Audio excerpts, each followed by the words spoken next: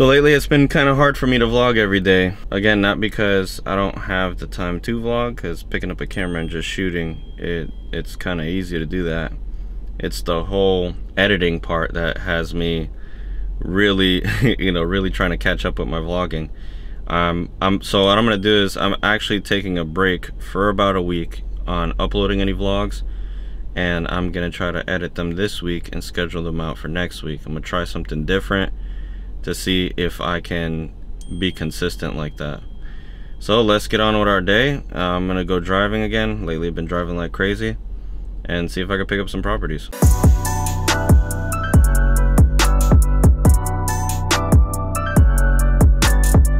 Told you not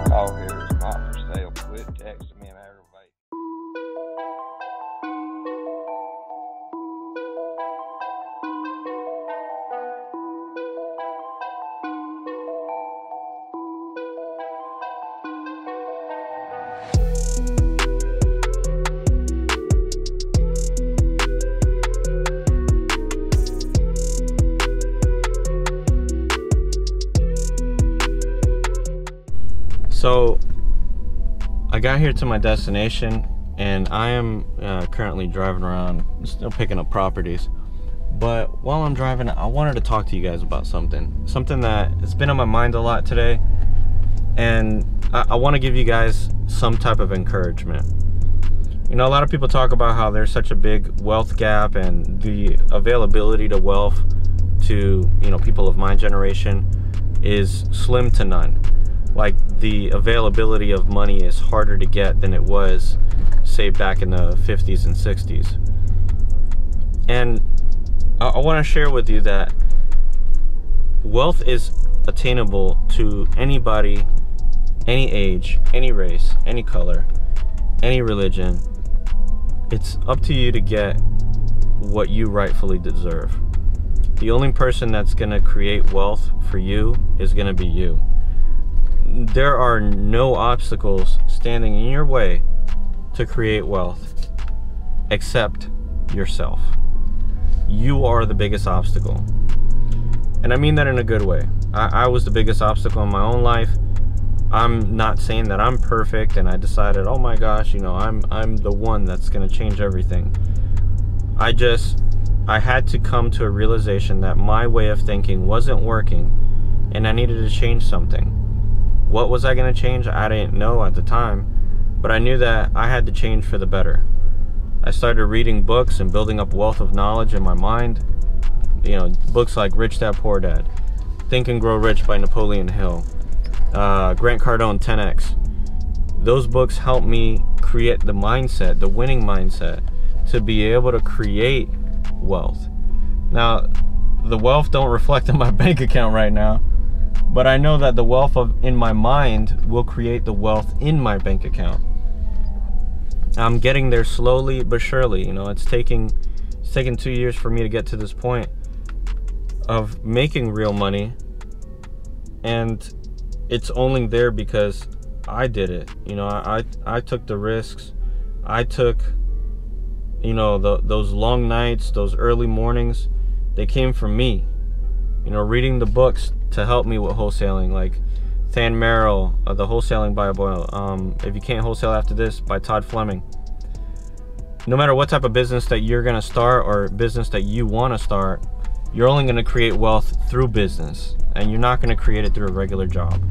That nine to five, you know, pays the bills, but that five to ten builds the empire that's where your real money is going to come from. Jobs are just stepping stones. Not saying that you can't make good money or that some people, you know, I know guys that are making like 150k a year and they want to leave that to pursue real estate. Why? Because you can build more wealth with a business than you can with a job.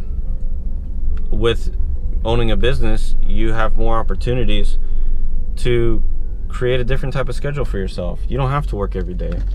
Like I'm out here hustling right now only because I want to. Like do I really have to? I could sit back and be content with what I'm making right now. But I want more than what I have now. I want to be able to, you know, take a one month vacation and not have to worry about anything at all. but I can't do that at this moment in time. Well, I mean, I could, but then I'd be playing catch up every time. If you really want wealth, if you want to build wealth, the only person that can help you do it is yourself.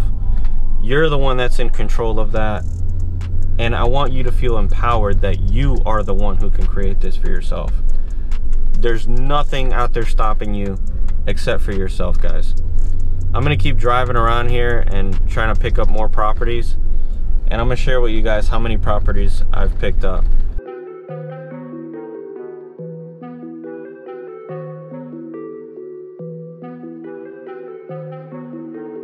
All right, so my total for the day, it was 243 vacants, which is actually pretty good. I've been out here since, what, like 10 o'clock in the morning. From 10 to almost 3 o'clock, I was able to pick up 240 properties. That's fantastic. These are only vacant properties. These are not you know, owner occupied. They, you could tell that they were vacant. I mean, either grass was overgrown, windows busted out, whatever the case might have been. And then from my text messaging, picked up one property under contract with a second possible one on the way. So my total haul, I think for the past two and a half weeks that I've been driving, I think it's been through, this is the third week now. I'm up to almost 3,000 properties. So not bad at all considering the fact that I'm the only one driving while my team is either making phone calls or you know, following up or whatever it is that, you know, my partner and my co-caller are doing. But not too bad. This week, I'm actually going to go on vacation for a few days. I need a break away from all this driving and everything else that we've been doing.